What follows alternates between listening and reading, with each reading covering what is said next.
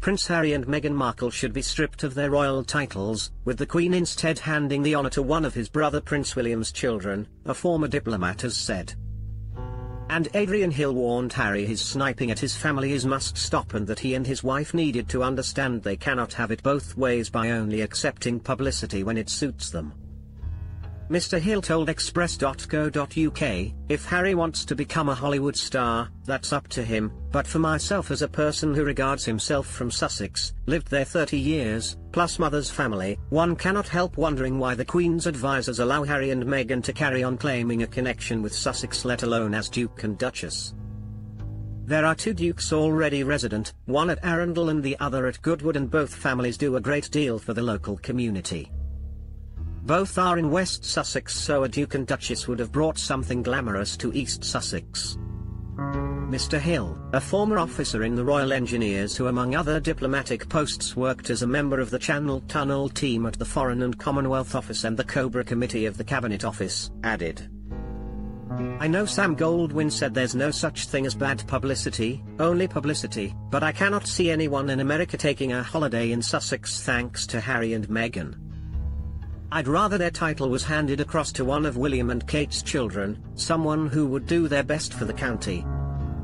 He added, Sussex needs someone who is more concerned about the welfare and prosperity of the people than two spoiled rich business stars obsessed with their own problems. Maybe the people of Sussex should hold a vote, that's how we got Brexit.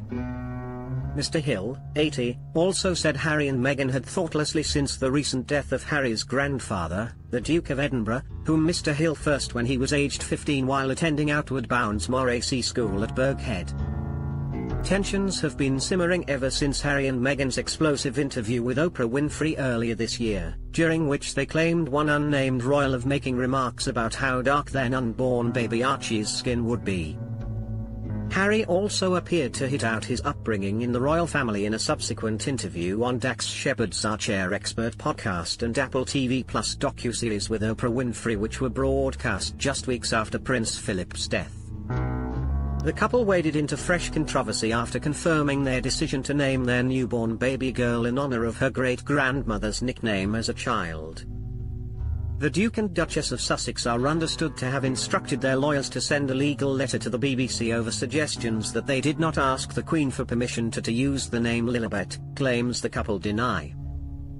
A spokesperson for the couple added, had she not been supportive, they would not have used the name. Mr. Hill said, I hope they asked the Queen first or asked Charles what he thought or asked William what he thought. Harry started off very well, serving in the army, a tour in Afghanistan and then the Invictus Games, a major achievement that improved the lives of many, many young people. Full marks by any measure.